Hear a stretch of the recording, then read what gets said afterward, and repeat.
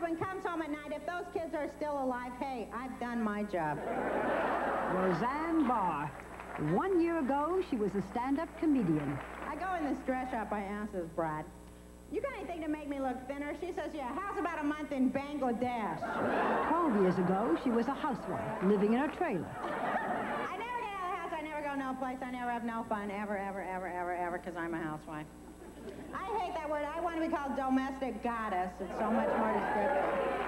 Twenty years ago, she was committed to a state I- mental I- hospital. I shouldn't even, like, make fun of where nobody else comes from, because I come from about the worst place on earth, Salt Lake City, Utah. And I'm Jewish, so that's why I'm like this and everything, in case you wonder. 36 years ago, she was born into one of the few Jewish families in mostly Mormon Salt Lake City, Utah. Her father sold blankets and crucifixes door to door. There was little money, and Roseanne felt like an outsider. Her closest companion was her younger sister, Geraldine. Same thing. Nah. Afraid so, No, it is afraid not. so. This most peculiar-like story created this woman, giving her a voice and a wit that now speaks to millions in this season's hottest TV show, Roseanne. A guy is a lump like this donut. okay, so first, you gotta get rid of all the stuff his mom did to him. and then you gotta get rid of all that macho crap that they pick up from the beer commercials. and then there's my personal favorite, the male ego. She calls her comedy funny womanness, and it seems to have something to do with telling the truth about family life. The wonderful John Goodman plays her husband. Uh, tell us about this stud we're gonna be meeting tonight. Mother, you're not going to meet him. Well, we're going to be at the bowling alley, and Chip's going to be at the bowling alley. We're bound to run into one another. Please don't embarrass me. Please. Oh, honey, there's no way we'd embarrass you. Roseanne has a house that's never clean, a husband who'll never be rich, and children who never mind. You're gonna use that bag until you're 30. Great, I'm just going to look like a freak, that's all. What else is new? Shut up! This is why some animals eat their young. The show manages to be anti-intellectual, but very smart. Anti-yuppie, but very hip. Much of the content draws on Roseanne's actual 16-year marriage to Bill Pentland, who helps with the writing, and we'll be seeing him periodically as Roseanne's TV husband's best friend. See ya. Hmm. No, I usually eat with my sister because our studio's like a block down here. So I get it and then I go. Okay. So give me some cream cheese and bagels. It works. These days, Roseanne spends much of her time here in Ventura Boulevard, next to the studio where she tapes her show. It's been a rocky first season. One of the show's executive producers recently resigned, citing creative tensions with Roseanne. Friends are flowers in the garden of life. How do you That feel makes about me that? feel ill, like I could like regurgitate. But Still, her success seems to have no boundaries. She'll oh soon be starring in a movie with Meryl Streep. You probably won't be surprised to learn that Roseanne, her husband and three children, live in a fairly modest home in L.A.'s San Fernando Valley. Inside, the decorating shows the softer side of her. She likes antiques. Some of these belong to her grandmother. On a piano that no one plays is a smiling photo of young Roseanne. It is staggering what has occurred Yeah. between then and now. When you were 16, was it 16 when you were hit by the car? Yeah. That's so funny to me. not so I, funny, know, I don't know, because it's so bizarre. That was a turning point. Yeah, I, I'm going to school and I get hit by a car, and uh, and um, I like died, you know. I, I died or whatever you call it. I was unconscious, so maybe I went really deep in myself. It was either death or that, one of those things. I was in a coma. Um, when I woke up a while later, I, I wasn't the same person that I was before the car accident because uh, I mean, I had gone to a place where I guess a lot of people don't go, to, to the very edge. And when I came back, I, it was all going to be my way. And it always was my way after that. So what'd you do? Um, well, I did go through that rebellion period after I got hit by the car. Then I went on to the next thing, which was after I had this great personality change. You know, my parents kind of panicked, and and I went to all these social workers, and you know, the cut rate kind down at the mental health center, 350 an hour. You know, and they kind of diagnosed me, and then they kind of send me away. Now, come on. This is something that, that I do know uh, Yeah. about from reading about you, and it is, it's, I don't know, very odd to say the least, but here you were, this kid who was, your parents couldn't figure out, Mhm. and they sent you to a mental hospital. Mhm. For how long? I was there for about eight and a half months. It is not possible for a 17-year-old to spend eight months in a hospital and not have it even today uh, hurt, frightened, something. I mean, you are Well, not you are not the average person today, Roseanne. Okay, even though you represent, Yeah. you know that. So something had to come from that time. Oh, everything came from that time. Okay. Yeah, everything came from there. But I'm trying to think of how to put it and how to talk about it because some parts of it are unspeakable. But uh, it was a very horrifying place. Everything about it was horrifying, and luckily or unluckily, I was very heavily drugged, so I saw everything through um, a pretty intense fog. But um, it was just the, it was Dante's Inferno, you know. But it was the place where you come out of and you emerge and you become something else, or else you die. And I came out. Did you ever think that maybe there was something seriously wrong with you? Um, I thought the thing that was seriously wrong with me was that I was in Utah, Hmm. and I still do it. Really? 15 years later, yeah. Did you forgive your parents? Um, I tried to. Yeah, I tried to forgive my parents. And I think they've tried to forgive themselves too. So it wasn't easy on them either. And it- it wasn't easy on anyone who was ever there. And uh, yeah, you know, I, I just I just uh, emerged. I emerged from there a different person. You escaped. You left Utah Yeah, I um at 17 yeah I was 18 when I left 18. Utah. after this whole experience. Yeah. Out. Yeah. I went to live on a commune in the mountains of Colorado. And met And met my husband and some very good friends that are still my very good friends. And uh, Tell me about life then. Tell me about Bill. What'd you like? I what met was him, like? you mean? Yeah, was it love at first sight? Was for it me it was. really? Yeah, when I walked in and I saw Bill, I went, I'm going to marry this guy. How'd you know? I just knew. I've always just known. It's real weird. So, okay, we bought a trailer. We were just living together then. Well, we bought a trailer because, you know, we had to invest. We had to invest our money, you know. So we bought a six-foot wide trailer and everything. And then we went to see this horrible movie, The Exorcist. Mm-hmm. One day, it was so weird. I'm sitting there in my trailer, and I'm thinking I'm getting possessed by Satan, you know, because like a lot of people thought they were getting possessed after seeing The Exorcist. I open the door, and who's there? Mormon missionaries. I mean, it's like, whoa. So I go, come on in, guys. Could you exercise me? Look, I think I'm getting possessed by Satan here. And uh, you know, I just go to these real, I go to real weird places sometimes. So they come in and, you know, they said they'd exercise, and then they asked me, was I married? And I go, I'm living with a guy. Well, that's why Satan's trying to get into you because you're living in sin here.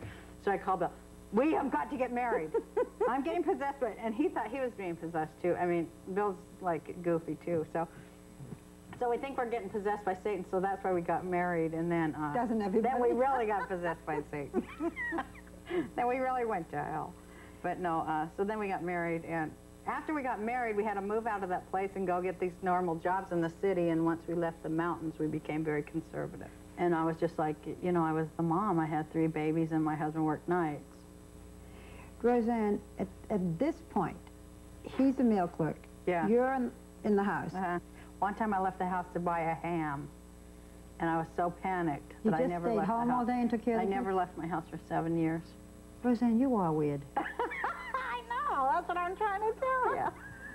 See, I sort of thought that you were normal, but I you- am normal. You are, but you're not. But the thing you- is but that- you really are weird. But yeah. the thing is that I, I'm very normal because more people are like me than you're probably than right. Yeah. It's just what we, what we think TV's normal, but TV ain't the normal thing. We are. Okay, so now finally, after seven years, comes the So my sisters. sisters come, Yeah. they help me in the house, I leave the house. Yeah. I get a part-time job. I lost a lot of weight. I lost 120 pounds. Why? I lost Uh, 120 pounds and you because I just got real yeah. tired of being fat. Okay. You know, um, So I lost all this weight, and then I, I all I cared about was I had this deep fear of like losing weight because I had this real fear, like when you're thin, you're really going to become stupid and everything like this, all the things that fat people are afraid of, and all of it happened. You became stupid? I became really stupid, and all I cared about was belts. I don't know, belts. belts. And accessories. I really did. I went, and it was real weird. Then I get this job as a cocktail waitress, yeah. And, and then, I- yeah, so. And you were funny as a cocktail waitress? Yeah, and all the guy customers, like, would encourage me, you know, because I was, like, starting to tell jokes out of nowhere. Real weird. I know it's real weird. So these guys, they go, why don't you go down? They told me that coming to see me at this place where I worked was like going to see these comics at this downtown comedy store place, comedy shop, works, whatever it was. And, and so I go, what? Then I'm like, huh? There's, I go, there's what? Oh, there's this place where people get on stage. They, I go, oh my God, it's, it's oh, oh. So I go down there and I tell my jokes and came back with uh, the act that I pretty much do now. So it was always there. Oh, yeah, I used to be uh, much more uh, radical or whatever in my comedy than I am now. But I found a middle ground where people would listen to me because when it boils down after everything's done is every woman is like a housewife to me. I don't care if you're, what's her name, president of Pakistan there or whatever. Mrs. what's Bhutto. his name, yeah. You think Mrs. Bhutto comes home and has to wash the dishes? Yeah, She has to take care of the baby, probably. of course she does. Yeah. You know, well, let's talk about that. You know, that's what I want to talk about that. I don't want to talk about that she's president. I don't care. She still does the dishes, and you know it, and I know it, and so does, what's her name? Well, Thatcher, she probably has slaves, but, I mean, every woman does it, and everybody knows it. And people would go, well, why don't you talk about more universal things? And I go, but what am I going to talk about? When I went to Vietnam, what am I going to talk about? I clean everything, and everything's my fault. You talked about when you lost 100 pounds. Yeah. Okay. and then I'll talk about how I gained it Yeah, back. why did you gain it back? Uh, I like being fat. Do you really? Yeah. Do you really? Yeah. Why do you Um, like being fat? Um, well, there's just been times in my life where I've liked being fat, and there are other times in my life where I've liked being thin. And I, I don't think that it, it, your weight makes you happy or unhappy. I think it's all the other stuff. But um, sometimes I think it's the greatest thing any woman can do is to be fat, and the sexiest thing any woman could do is to be as fat as me or fatter. and sometimes I want to be thin, and it just happens.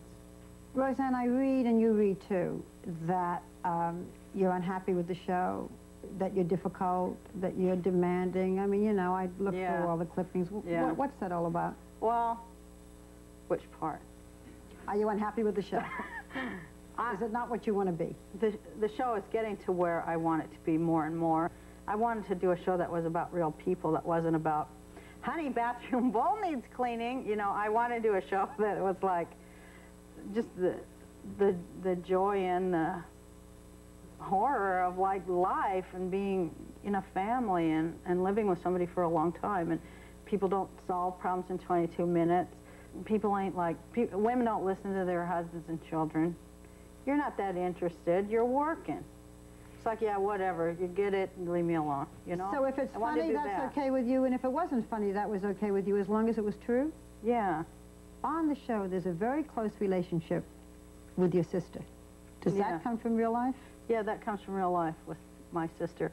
Um, my sister, when they moved out from Utah, both my sisters, but mostly my sister Geraldine, um, she she and I are like incredibly close.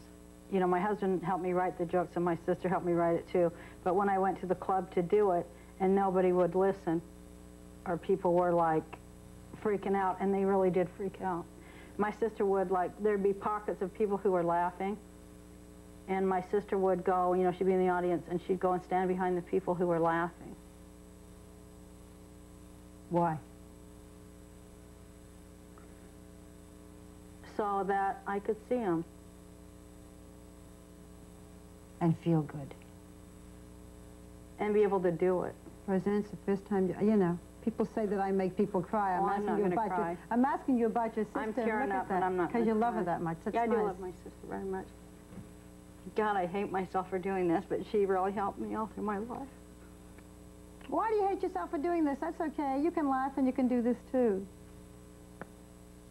Maybe if I pick my nose, you'll pull the cameras off me. Uh, that's right. But no, I really love my sister, and I'm glad she's here with me. now, when, when you, when the money's coming in, when, you know, when you're living in these pretty surroundings, do you ever think of what it was like, what, five, six years ago? You mean before I got like rich and famous? Before you and all got that rich stuff? and famous and all that stuff. Yeah, I think about it all the time.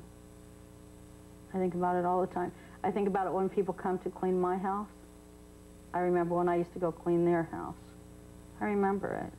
I always try to remain because I can't really change into nothing else. I'll always be a working class person.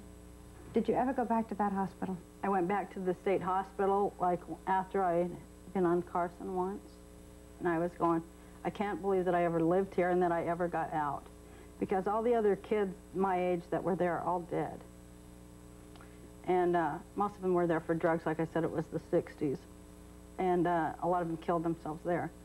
But uh, when we were going down, I saw this nurse, and she had these um, two people with her, you know, and so I did this for myself.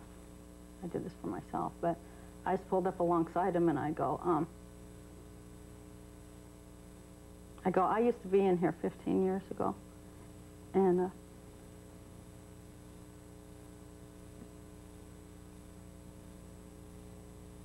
you know, then I go, um, I go, you know, and now I make over a million dollars a year. And all of them turned and just go, then the nurse goes, what? And I go, I'm not talking to you. Maybe it sunk in with one of them. Maybe one kid felt, hey, I'll be okay too. If she is, I will be too. Yeah, and I am okay. Thank you.